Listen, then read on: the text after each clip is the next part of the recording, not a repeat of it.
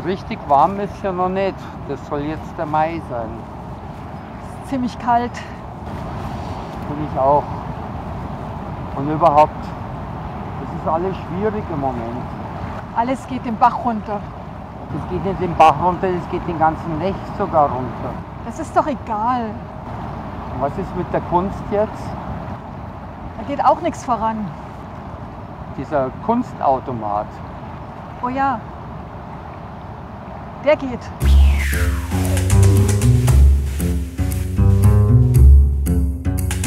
Sag einmal, Elke, was haben die beiden eigentlich vorhin gehabt? Weil ich meine, so kalt ist es ja gar nicht.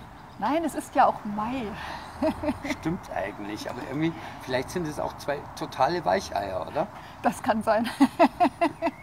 Ja, ich kenne die auch. ähm, ja, natürlich sind wir hier, um die 19. Spielzeit des Landsberger Kunstautomaten einzuläuten und vorzustellen. Diesmal leider Gottes wieder Ohne Vernissage? kann im Moment leider nicht stattfinden, aber auf jeden Fall äh, füllen wir den Kunstautomaten am 21. Mai komplett neu auf und wir haben äh, wieder sechs wunderbare Serien mit dabei. Und wie die vorhin schon gesagt haben, der Kunstautomat ist ja auch eine Möglichkeit, Kunst zu kaufen. Unbedingt. Ja, und das gerade eben jetzt in diesen Pandemiezeiten, wo so viel eigentlich zu ist und so viel eben nicht geht.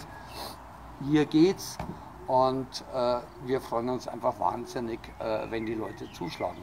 Kunst rund um die Uhr. Genau, und das für 5 Euro, das äh, soll uns mal einer noch.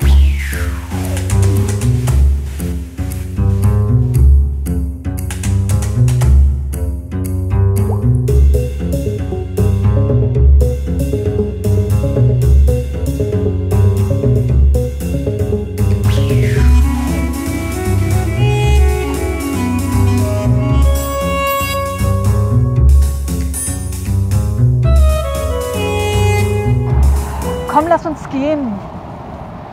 Wir müssen noch warten. Auf was müssen wir warten? Auf Godot.